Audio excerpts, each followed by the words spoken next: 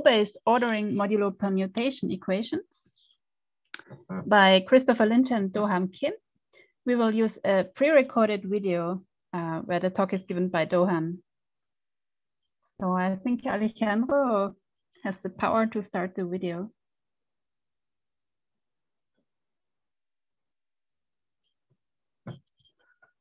Hello, my name is Dohan Kim. I'm going to talk about an RPO-based ordering modulo permutation equations and its applications to rewrite systems.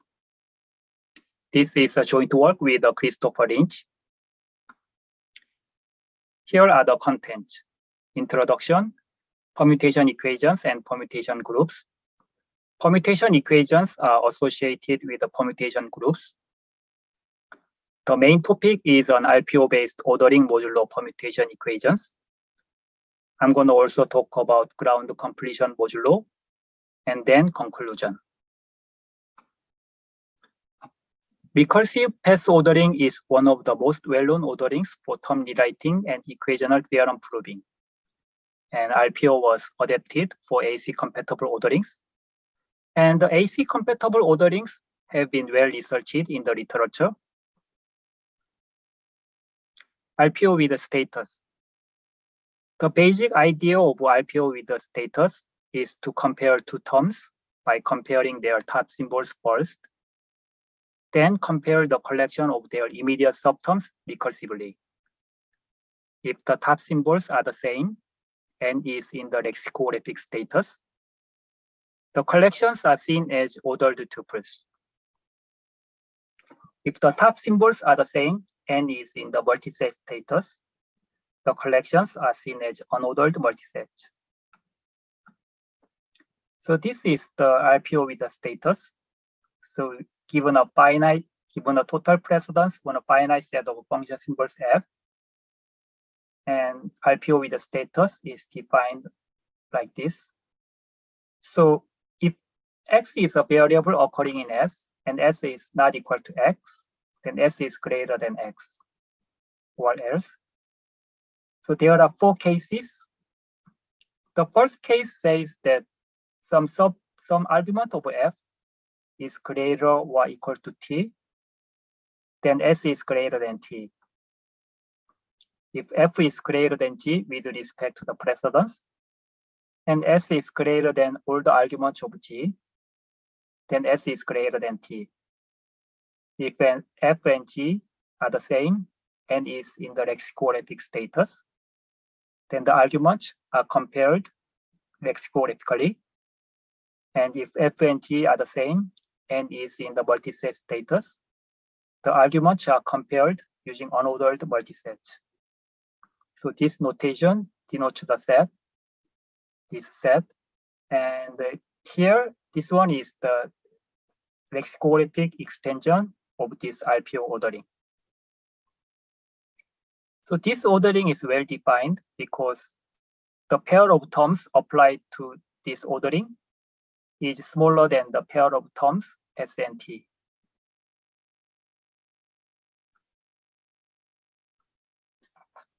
Permutation equation is an equation of the form for some permutation law on N here so commutativity is the simplest case of permutation equations. So for each permutation equation, we can derive the permutation corresponding to this permutation equation.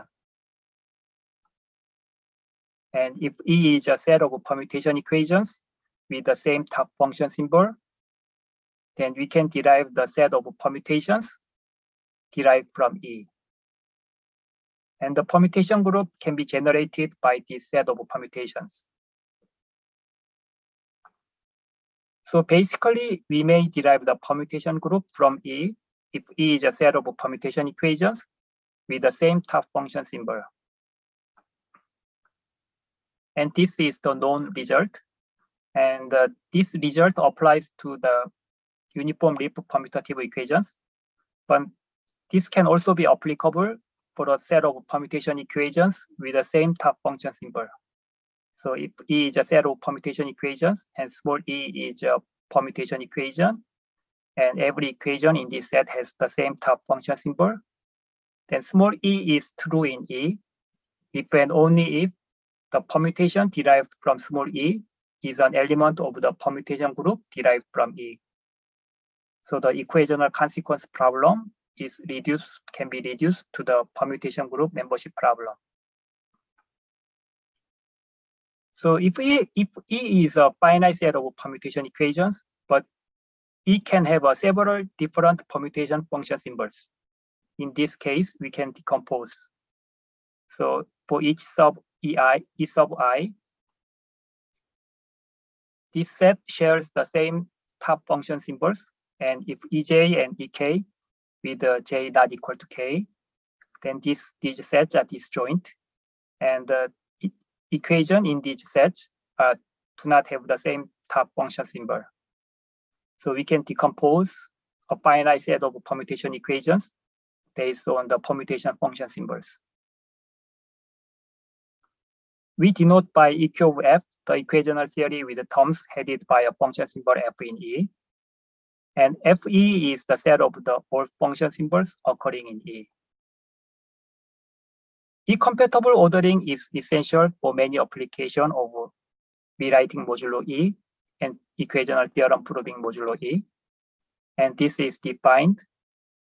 An ordering on terms is E-compatible if S is greater than T and S is equivalent to S prime and T is equivalent to T prime implies S prime is greater than T prime for all S S prime and T and T prime.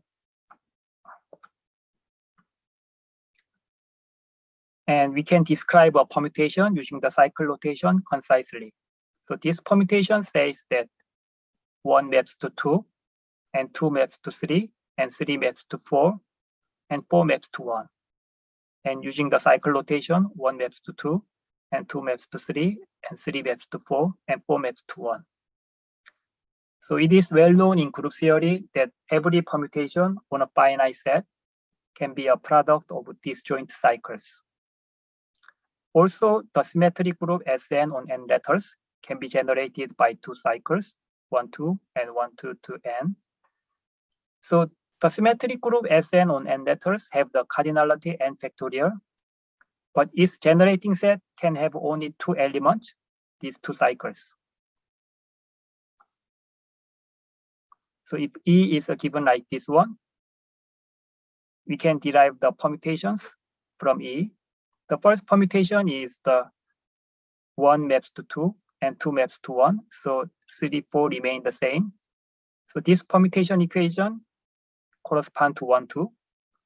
And for this one, one maps to two, two maps to three, three maps to four, and four maps to one. So this correspond to the cycle one, two, three, four. And one, two, and one, two, three, four. Two cycles generate the symmetric group S4. So any permutation of variables is allowed while preserving the equivalency.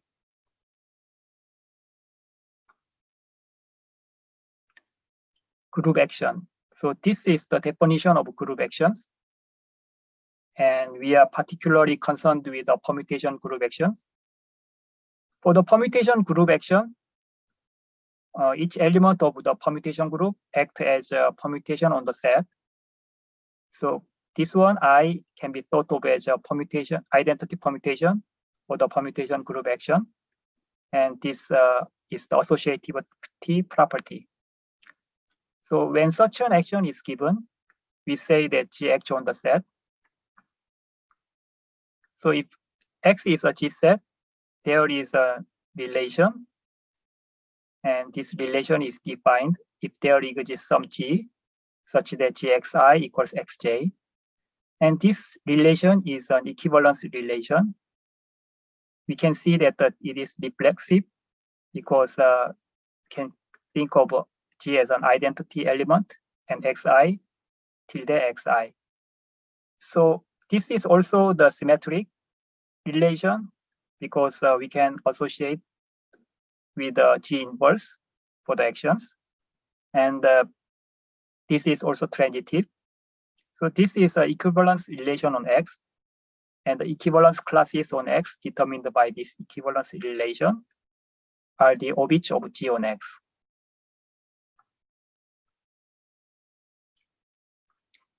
Given T with uh, F is uh, permutation function symbols. And this permutation group is derived from the set of permutation equations with the permutation function symbol F and act on the set in the usual way. So we denote each orbit of this permutation group on X uh, by this one. So the each orbit of this permutation group is basically a subset of X. And a subset of X corresponds to the argument position of permutation function symbol F, the set of arguments, some sub, some set of argument position of permutation function symbol F. And we can derive the multiset from these argument positions. So here, this can be a multiset. So we first act on the set first. Then we obtain the corresponding multiset. For example, the associated permutation group is S4. And this symmetric group S4, uh, we have a single orbit. And the multiset derived from this uh, single orbit uh, just simply is a D, C, B, G of A.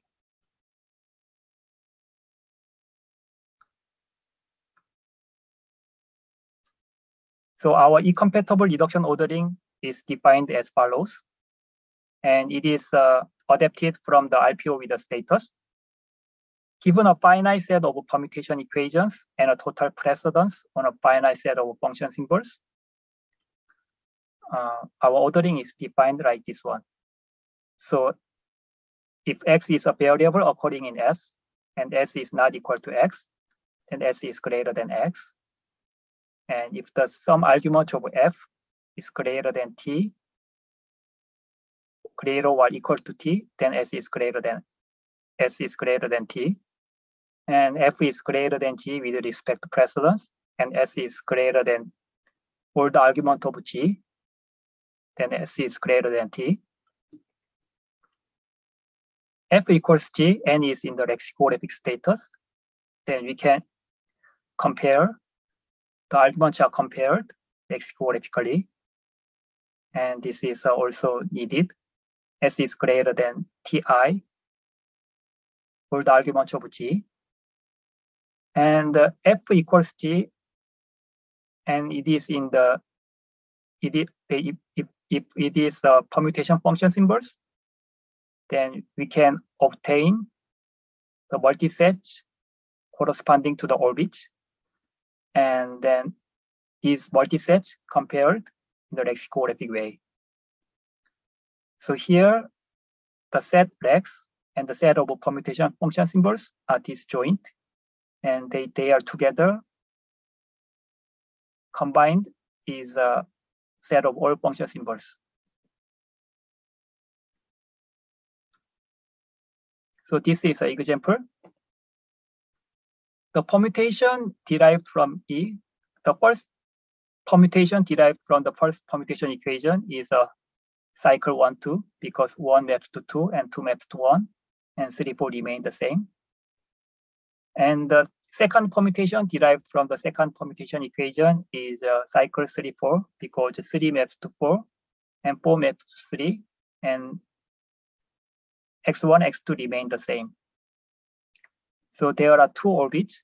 The first orbit corresponds to the argument position of f, the first argument position of f, and the second argument position of f. And the second orbit corresponds to the third argument and the fourth argument position of F. So the associated multiset for S is uh, the, the first multiset obtained from the first orbit is uh, for S is uh, XA. And uh, the multiset obtained from the first orbit for T is uh, AX, and they are equivalent with respect to the multiset extension. And the multiset obtained from the second orbit for S is uh, CA. And the multiset obtained from the second orbit for T is a BC. and CA is greater than BC, and the remaining conditions can be easily checked. So we have uh, S is greater than T by case four.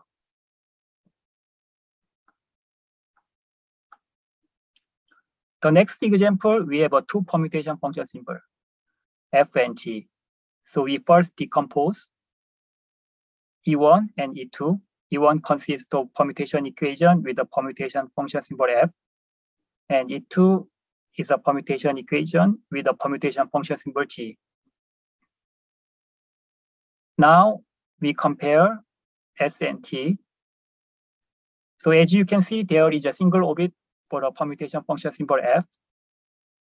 And the multiset obtained from the orbit is uh, C G of P A and A for S.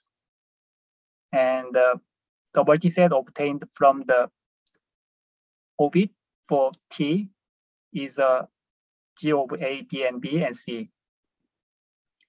And this can be, C are the same. So these two should be compared. And we have this uh, G of B A and A is greater than G of A, B, and B because uh, the first orbit, we have two orbits for this uh, permutation function symbol G. And the first orbit correspond to the, the set of argument positions, one and two.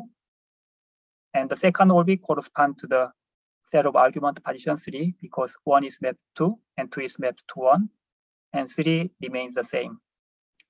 So the corresponding multiset for the first orbit is uh, BA for G O B A N A, and uh, the corresponding multiset for the first orbit for term G of A, B, and B is AB. So they are equivalent with respect to the multiset extension. And the multiset corresponding to the second orbit for this one is A. And the multiset corresponding to the second orbit for this one is a B. And the remaining case cases conditions can also be easily checked. And we have S is greater than T by case four.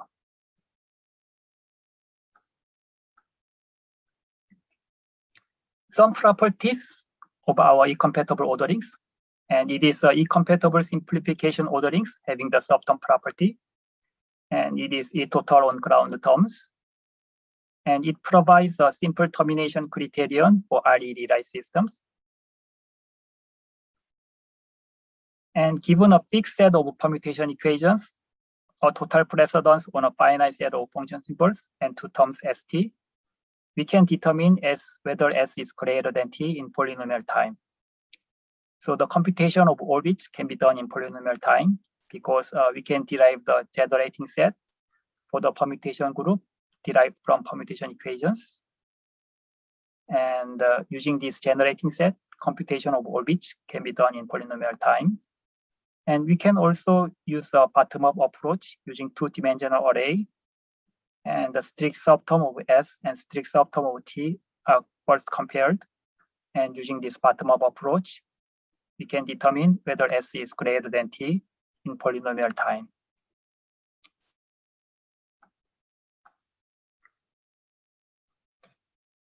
Ground completion modulo permutation equations.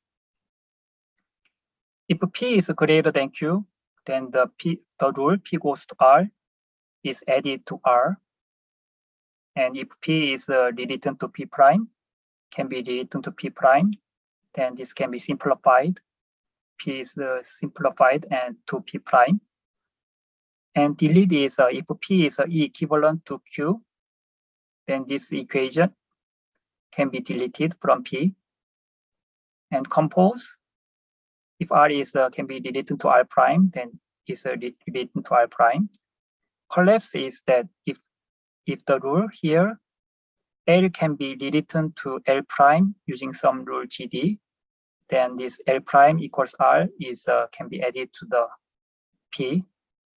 And if L is equivalent to G, then R is greater than T because uh, this ensures that the uh, the rule L goes to R is uh, larger than the rule G goes to D because uh, we want the uh, bigger rewrite rule can be simplified that the smaller Lie rule.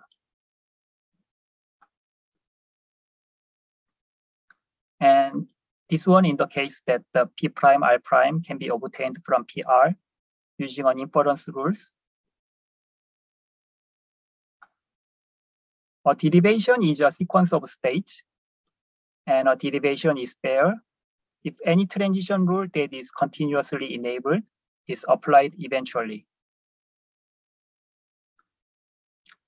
The set of persisting rules R infinity is finite for a fair derivation, and this fair derivation terminates.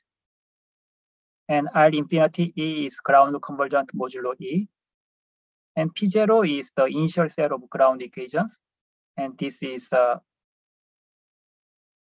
P0 is the initial set of ground equations, but R0 is empty because the initial set of ground rules is empty, but R infinity E is ground convergent modulo E.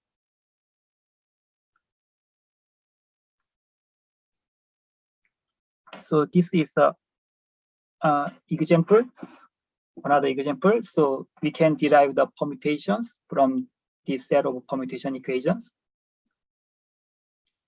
we derive the cycle 1, 2 from the first permutation equation, 1, 2, 3, 4 for the second permutation equation, and 5, 6 for the third permutation equation. As you can see, 5 maps to 6, and 6 maps to 5, and all the variables remain the same. And 5, 6, 7, 8 for the fourth permutation equation.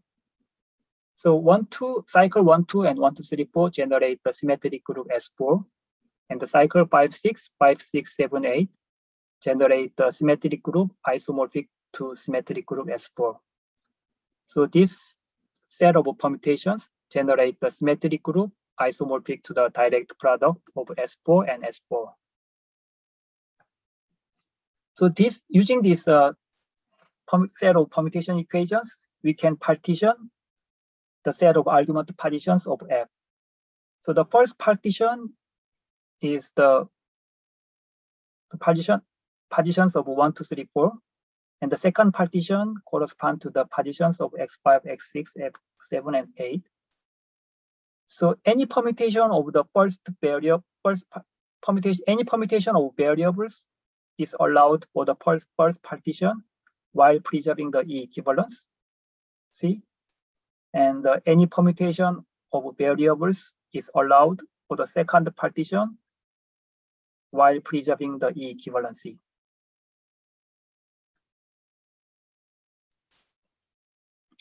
So if P is uh, consists of this equation, then we can orient these rules because uh, this the first term is larger than the second one by case two.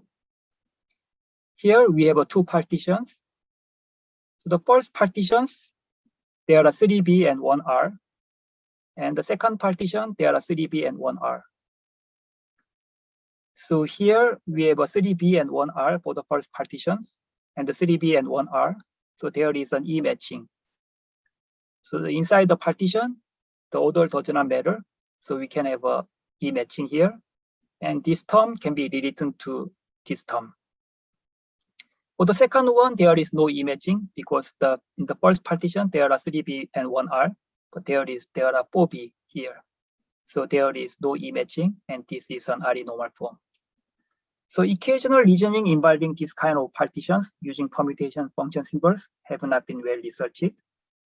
And although the rewriting modulo AC has been well researched, but uh, in this one, like uh, rewriting with the built-in permutation permutations, has not been well researched. And this is the conclusion. So the we established the E-compatible ordering for a finite permutation equation theories, permutation theories E. And our essential idea is to use group action and orbit to establish E-compatible ordering. And it provides a simple termination criteria for RE rewrite systems. If L is uh, larger than R for all rules L goes to R, then RE is terminating. And given a big set of permutation equations and two terms S and T, we can determine whether S is greater than T in polynomial time.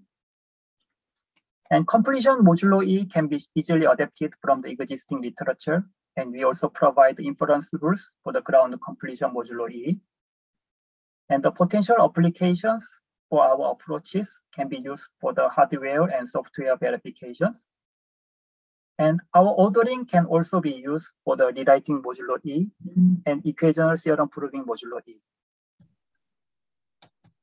Thank you.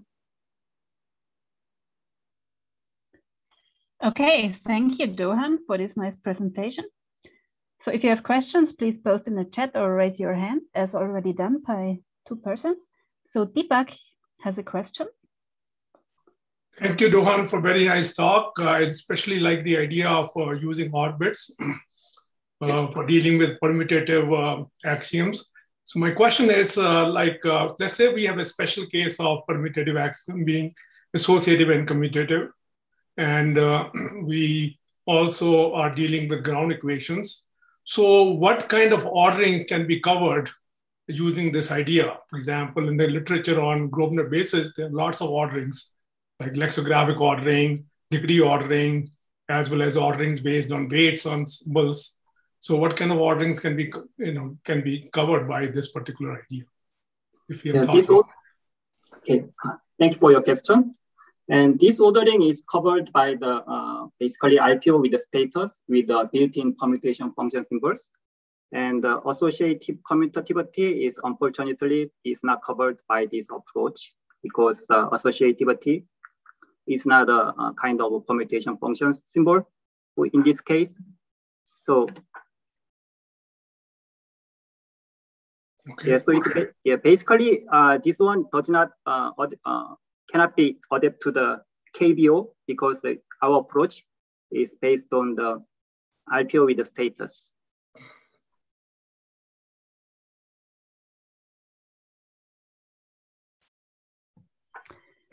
Okay, there is another question by Christoph in the chat. Could we imagine to generalize this ordering to theories E that are shallow, like E being x plus zero equals zero plus x? So not uh, if if a shallow theories uh, satisfy the permutation function symbol, the axiom of the permutation function symbols, then it can be applied. But I don't think it's uh, not shallow every shallow theories can be applied. For example, uh, like this one, x plus x equals x. This one is a shallow equation, but this is not a permutation equation. So we cannot use this uh, um, built-in E for our approach. But if it's uh, the shallow equation, satisfy the permutation function symbol uh, axioms, then it can be applied. Okay.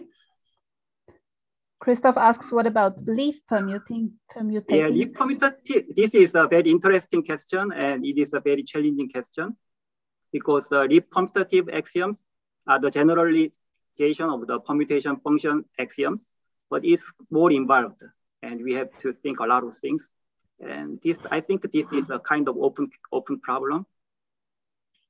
So as far as uh, I know, the ordering modulo, uh, E-compatible ordering, simplification ordering modulo commutative axioms are open.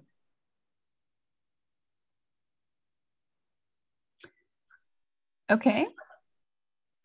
There seems to be no further pressing questions. So thanks again, Dohan, for this nice presentation.